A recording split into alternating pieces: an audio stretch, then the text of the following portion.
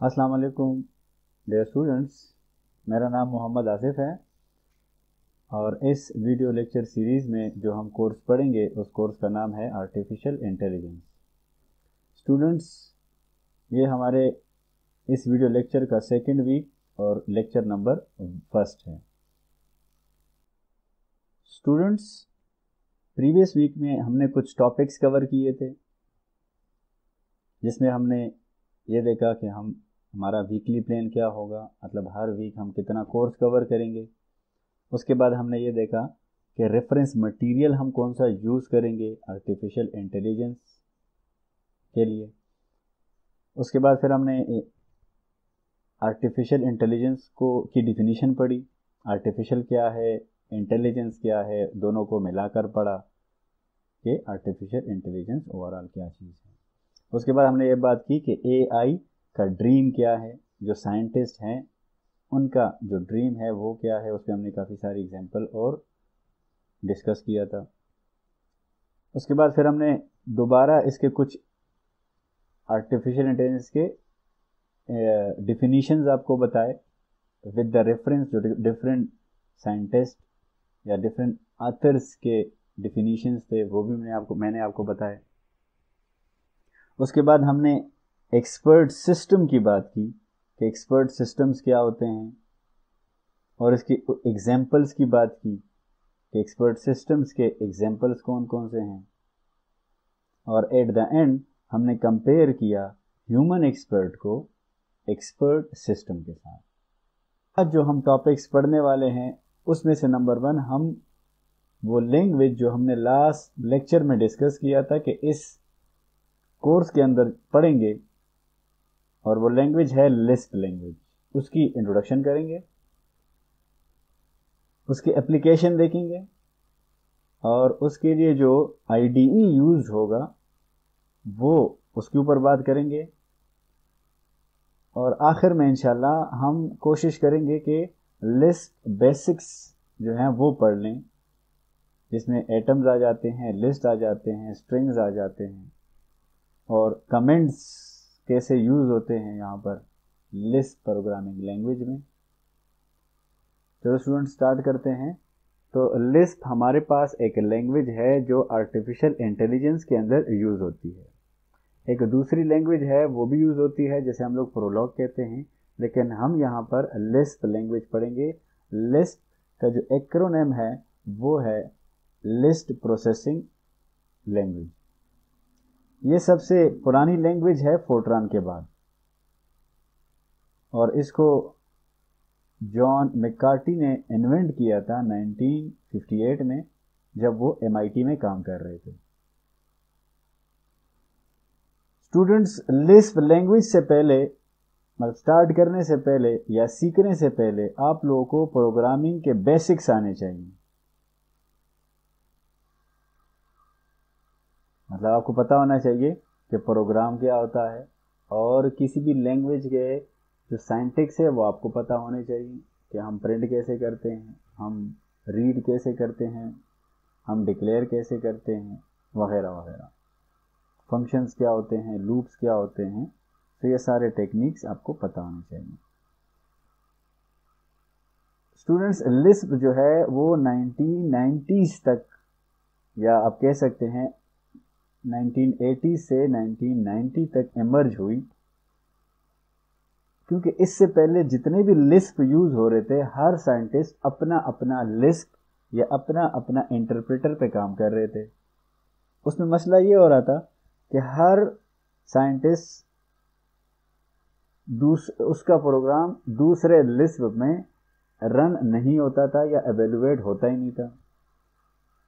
तो आखिर में इन लोगों ने 1980s से 90s में इन लोगों ने एक कंबाइन लिस्ट का इंटरप्रेटर बनाया और उस पर सारे राज़ी हो गए। तो उसके बाद हुआ ये कि सारे जितने भी आप, जितने भी प्रोग्रामर्स या साइंटिस्ट काम कर रहे थे, उन सब के प्रोग्राम हर एक के इंटरप्रेटर के ऊपर एवेल्युएट हो रहे थे। तो इससे बहुत सारी आसानियाँ पैदा हो गई। बजाय अलग अलग इंटरप्रेटर के और अलग अलग साइंटेक्स के।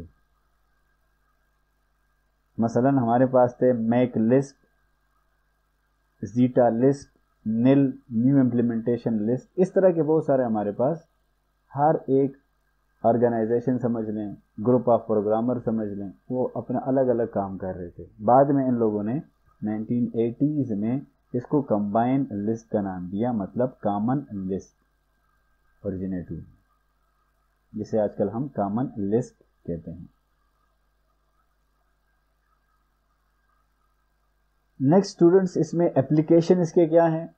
तो ये बहुत हैरानी की बात होगी आप लोगों के लिए कि इसमें बहुत सारे सक्सेसफुल एप्लीकेशन बने हैं अभी तक। मसलन ईमेक्स जो कि यूनिक्स का टेक्स्ट एडिटर है, जो उसको प्रोग्रामर साइंटिस्ट वगैरह उसको यूज़ करते हैं।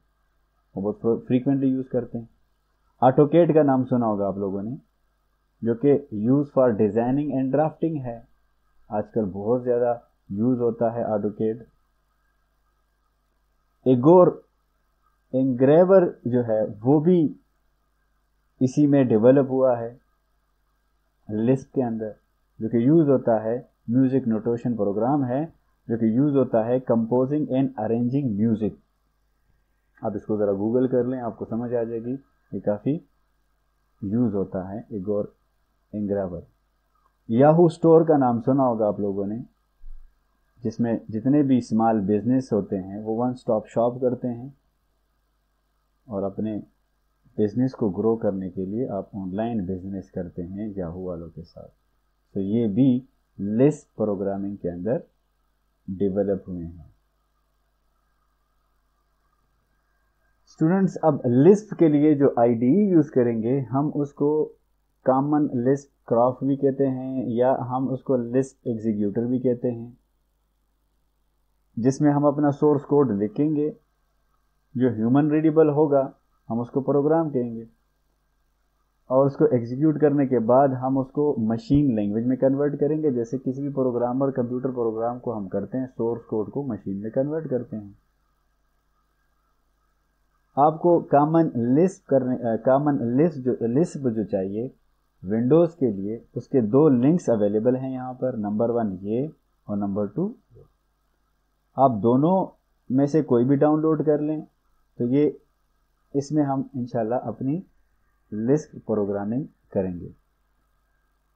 मैंने दोनों इंस्टॉल की हैं, आप लोग भी कोशिश कर लें, स्पेशली ये वाला, ये काफ़ी फ्रेंडली है। जब आप फ़र्स्ट वन को डाउनलोड करेंगे और उसके एग्जीक्यूटिबल फ़ाइल पे डबल क्लिक करेंगे तो आपके पास एक विंडो आ जाएगी। उस, वो इस तरह की होगी और इसमें जस्ट आपने नेक्स्ट नेक्स्ट करना है और आप विद इन सेकेंड वो इंस्टॉल होने के बाद वो आपके डेस्कटॉप पे एक शॉर्टकट बन जाएगा जी एन यू के नाम से। स्टूडेंट्स अब आते हैं लिस्ट के बेसिक्स के ऊपर। लिस्ट जो है, उसके अंदर जो एक्सप्रेशन होते हैं, हम उसको सिंबॉलिक एक्सप्रेशन बोलते हैं। इन शॉर्ट फॉर्म हम उसको बोलते हैं एस एक्सप्रेशन जितने भी एक्सप्रेशन होते हैं for example X plus Y तो एक मैथमेटिकल एक्सप्रेशन है। तो हम उसको यहाँ पर सिंबॉलिक एक्सप्रेशन कहेंगे, या एस एक्सप्रेशन तो जो आप बुक यूज़ कर रहे हैं, जो मैंने मैंने रिकमेंड किया था, उसमें आपको नज़र आएगा S expression S mean symbolic तो जितने भी मैथमेटिकल या जितने भी एक्सप्रेशन होंगे, हम उसको यहाँ पर सिंबॉलिक एक्सप्रेशन कहेंगे ऐसे expression are composed of three valid objects number one atom list and string.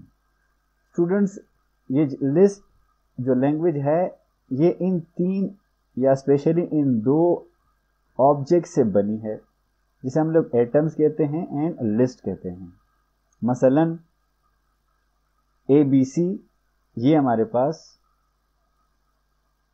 One twelve और फोर 456.9 या आप कह सकते हैं एक्स वन या this is a long atom तो ये हमारे पास सारे जो हैं, वो एग्जाम्पल्स हैं एटम के।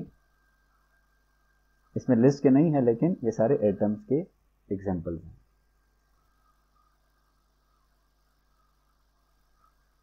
Lisp program run either on an interpreter ये इंटरप्रेटर भी काम करता है और कंपाइलर भी इसके लिए आजकल बना है। तो ये दोनों पे काम कर रहा है, लेकिन जो हम काम कर रहे हैं, वो फ़िलहाल हम इंटरप्रेटर पे काम कर रहे हैं। Interpreter checks the source code in a repeated loops which is also called the read evaluate print loop जैसे हम लोग रीपेल बोलते हैं।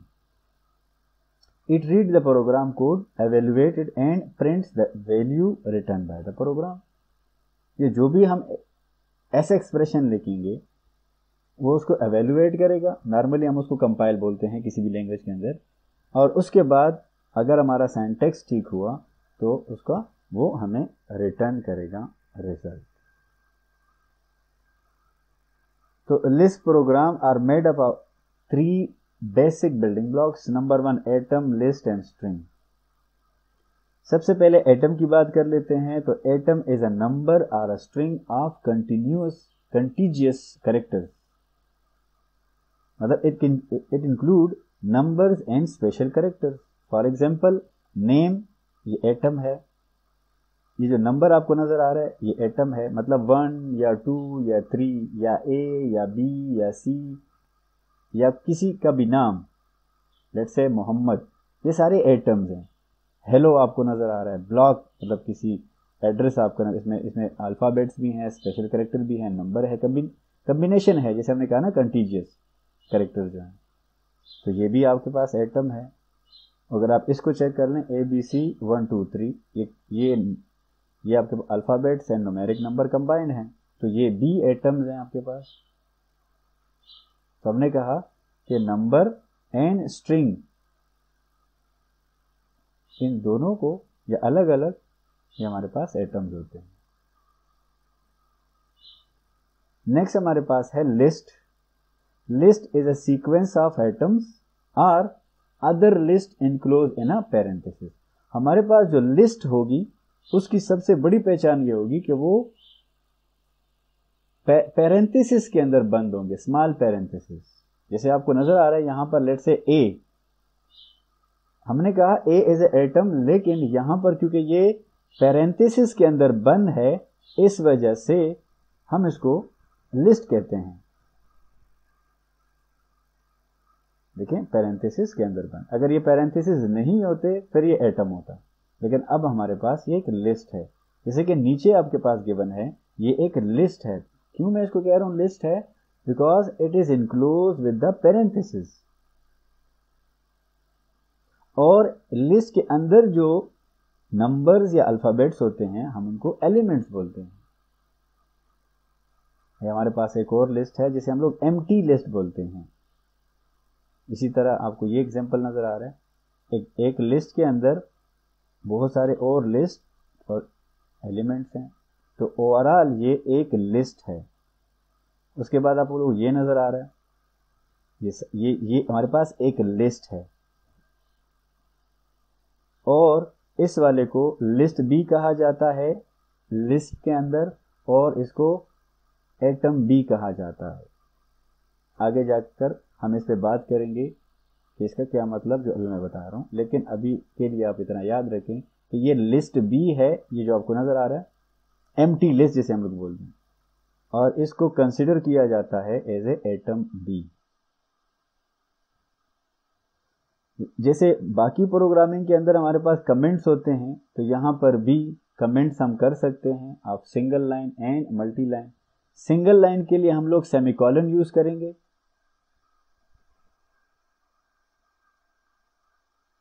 ठीक है? जैसे जैसे आपको यहाँ नज़र आ रहा है। इसके बाद आप जो भी कुछ लिखेंगे वो एग्जीक्यूट नहीं होगा। और मल्टी लाइन कमेंट भी कर सकते हैं, जिसके लिए आपको चाहिए होगा हैश का ऑपरेटर और दूसरा होता है जो हम नॉर्मली यूज़ करते हैं और ऑपरेटर के लिए जो यूज़ होता है। और आखिर में अगेन वही ऑपरेटर एंड जो हैश का ऑपरेटर है, या स्पेशल करेक्टर हम इसे बोलते हैं। इसके दरमियान जो हम टेक्स्ट लिखेंगे वो एग्जीक्यूट या एवेल्युएट नहीं होगा।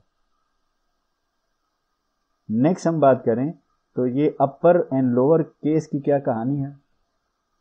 तो क्योंकि हम लोग इंटरप्रेटर यूज़ कर रहे हैं, इस वजह से इंटरप्रेटर जो होते हैं, वो केस एन सेंसिटिव होते हैं। आप किसी भी बिल्ट इन जो कीवर्ड्स होते हैं, उनको आप स्मॉल या कैपिटल में लिख सकते हैं।